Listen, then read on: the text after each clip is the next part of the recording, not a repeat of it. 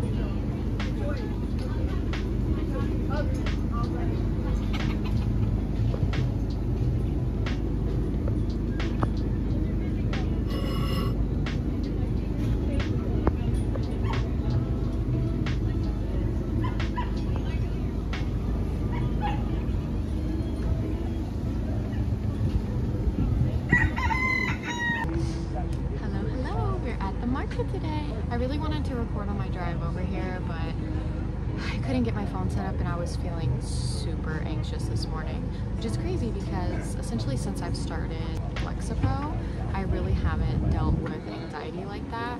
Um, but for some reason this morning it was really getting to me. All of my neighbors here are always really nice and the event coordinators are also very nice as well. So that makes everything much easier. Bunny is here with me as well. He comes to all the markets with me. He's such a good boy. He really is such a comfort for me. Like, he just makes everything easier. I made myself this necklace to wear last night with this little goldfish on it. It's really cute. Oh, let me give you an o- OTD. Okay, so I have this dress. So I have my Converse with my socks. Have this amazing little vest my sister thrifted for me. My sister is the best thrifter ever. She finds me the best stuff.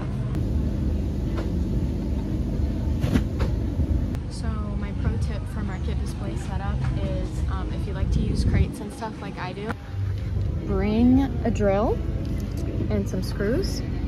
There's some dog treats in there, ignore that. Um, and screw your crates right into your table so that you don't have to worry about them tipping over. A lot of markets are going to require you to have a certain amount of weight on your tents. Whether they require it or not, you're going to want weights.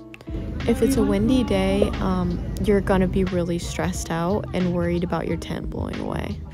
My tent came with empty sandbags and I filled them up, and so I used those on top of another weight that I got from Amazon. And the best way to connect them to your tent is to use bungee cords. You can attach the bungee cord to the top of the frame, wrap it around the leg of the tent, and then hook it onto the sandbag.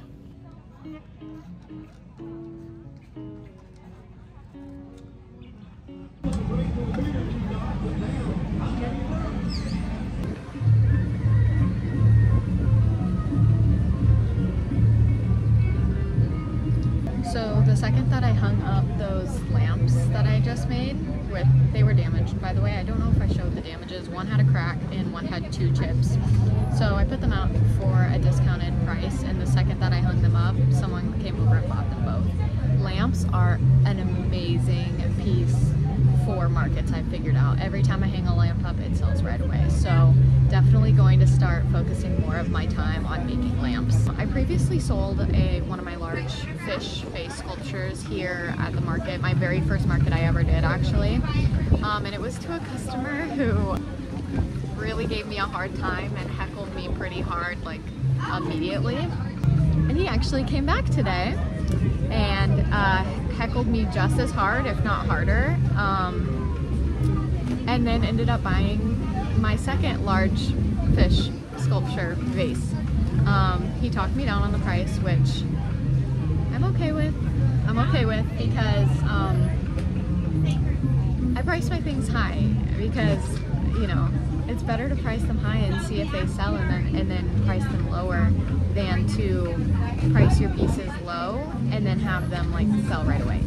In my opinion, I'm not a business person, so don't take don't take my uh, word for it. But I know that when I come one week and something doesn't sell and people are like put off by the price, I can I can lower it the next week. I just think it's funny, like he really he really like tortures me in order to like buy the piece. Like it's crazy. I'm really glad that it sold and it really made being here worth it today because I have not sold a ton other than that. Funny thing about the fish faces is that um, I'll just throw out my article that I wrote about them here.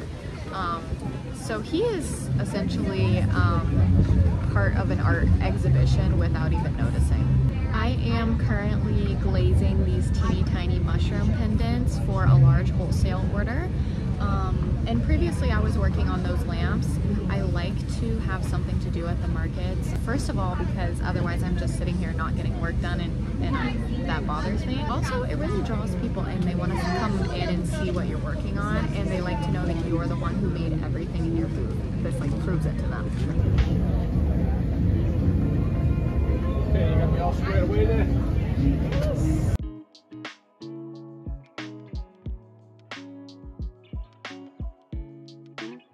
So I've actually never had anyone um, break something at a show before, and someone just dropped a one hitter and broke it. Cheap. Um, I thought about buying it, but I said I don't need a kiln. Do you want?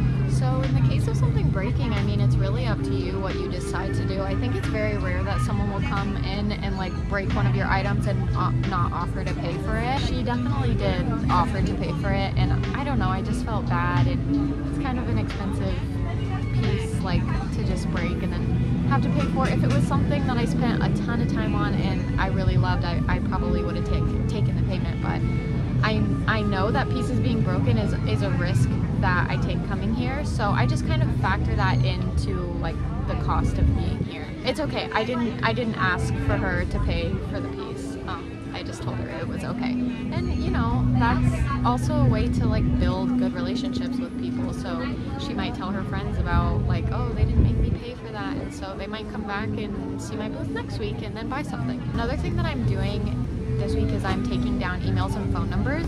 This is the um, sheet that I made. I just made it on Canva. Some people have asked to give their phone number because they don't check their email. So I'm, Right now just taking things down on my phone because someone actually took my Sharpie on accident. Come up with a reason to get people's emails. Right, great. right now I'm planning on offering classes. So I have a sign that says ask me about classes. And then when they say they're interested, I take their phone number and their email and I put it down.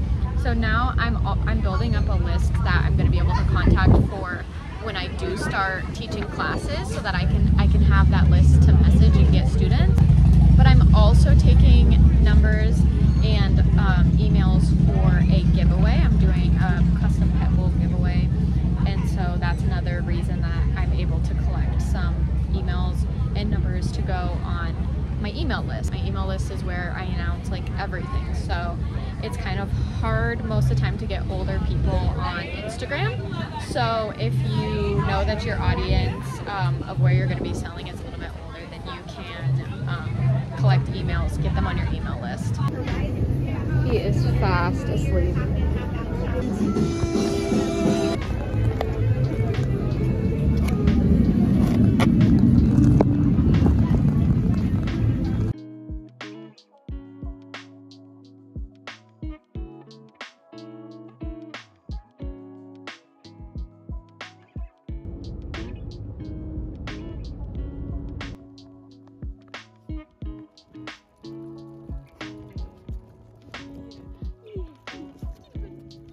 I would say overall today was a really successful market. So with everything, obviously including the really big piece that I sold today, I made over a thousand dollars. And it really just goes to show like you never know when you're gonna have a good day at the market. Last night I was like, man, this is gonna be a waste of my time. It's gonna be raining all day. Nobody's gonna be there. I'm not gonna sell anything. So upset this morning when I when I realized that like all of the pieces I had made for this market were no good and most of the pieces I was going to have today were going to be pieces that I have had for weeks. And it just was great. Like it just went great and and you just never know with markets. Like you really cannot expect what's going to happen. It was great weather all day, like 75. We've been sweating our asses off every single weekend at these markets and it was fabulous. I try to give you guys like a few tips here and there. I definitely want to make a sit down video that is all tips for artisan markets. So if you have any questions um, or anything you are wondering about for markets, leave them in the comments below. The main like benefit of markets isn't even always the sales that you make. Sometimes it's the connections. I have made amazing connections at this specific market. I have now had three galleries approach me at these markets and now I'm about to start working with all three of them. My art hasn't been in any galleries up to this point. I think that's to do it for me today. If you saw any pieces in this video that you love and you have to have, if they didn't sell today, they are available on my website. Link will be down in the bio. And yes, please leave me a comment. I'm making these videos because I want to interact with people online. Yeah, let me know what you think. Let me know um, what your tips are for markets. I'm really kind of technically still new to this, so I will definitely take any tips. Let's let's talk. Um, follow me on Instagram, TikTok, and like I said, please check out my website. I'm doing a giveaway right now on my Instagram for a free custom pet bowl. You choose the size, you choose the style, and you choose the name on the front. So just follow these rules if you want to enter. Thank you guys so much. I hope you love the video. Let me know if you want me to keep making these. I'm going to try to be consistent on YouTube now. Okay, have a good day. Bye.